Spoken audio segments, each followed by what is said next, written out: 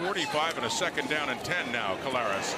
Mathieu Betts has him. Times, but the field goals to show for it. Blitz coming. And do they have him again? Betts. Mathieu Betts again. Third down. That's coming.